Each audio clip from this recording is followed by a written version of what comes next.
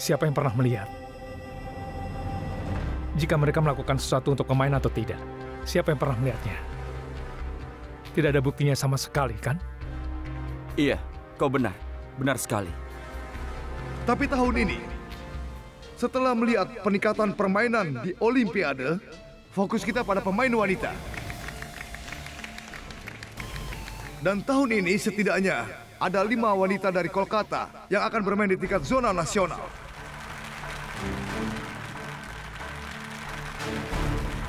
Ini adalah target kami. Dan akademi akan membiayai pelatihan dan nutrisinya. Aku dengan bangga akan menginformasikan kalian dengan struktur pelatihan baru ini.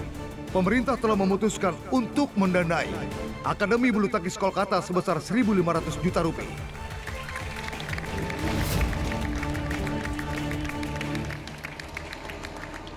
Seribu tiga ratus juta rupiah disetujui tahun lalu. Siapa yang akan menjelaskan itu?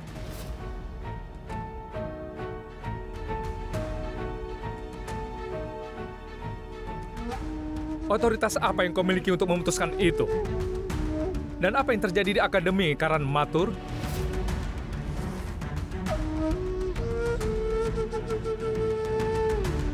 Kau sendiri adalah pemain. Apa itu bermanfaat bagimu?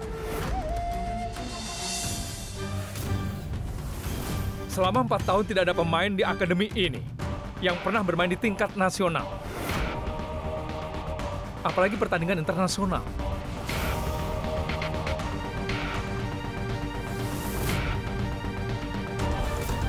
Artinya para pemain tidak diberi pelatihan dan biayanya tidak digunakan sama sekali.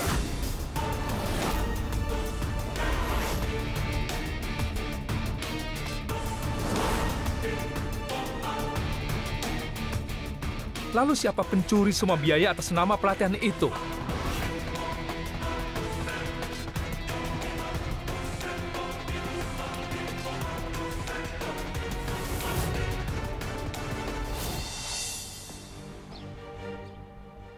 Halo?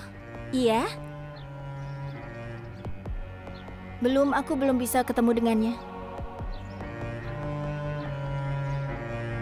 Aku tidak boleh masuk katanya.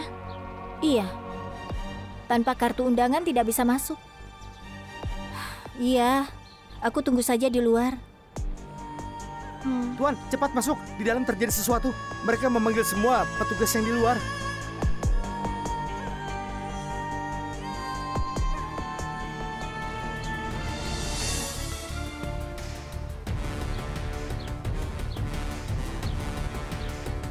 Ya sudah, nanti kita bicara lagi ya. Ya.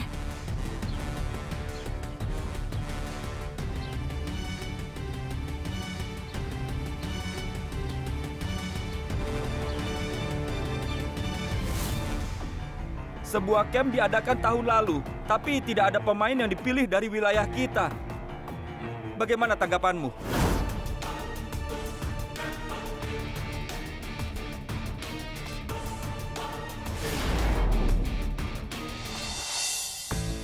Ayo, katakan saja sesuatu. Jawablah, Pak. Kenapa itu bisa terjadi?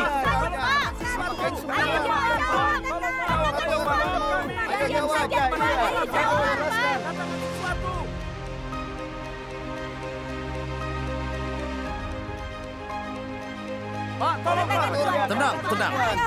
Aku harap semuanya tenang. Akademis akan membagikan daftar pemain. Oke? Tapi Tuan, dananya sudah disetujui oleh pemerintah kan? Bisakah sekolah beritahu kami di mana saja dana 1,3 miliar rupiah itu?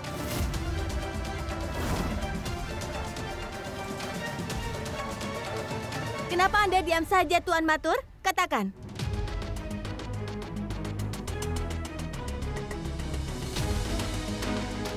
Bapak tidak menjawab, itu artinya akademis itu sudah dikorupsi, Pak. Katakan siapa? Dana itu di mana, Pak? Ayo jawab kami. Pak. Ayo jawab. Katakan sesuatu, Pak. Katakan Ke mana dana itu? Katakan sesuatu. Aku beritahu,